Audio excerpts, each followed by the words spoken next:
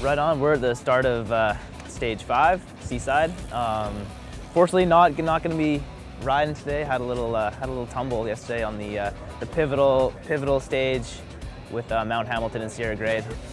Got some got some swelling going down. Um, a few stitches back there, and then the elbows took a tumble. So, I mean, I took most of my face, so the hips are fine. So we'll be able to keep riding this week and stay fit and uh, get focused on the rest of the year. Working, working, going from rider to staff today, and I'm gonna help out and spread the love with Jelly Belly.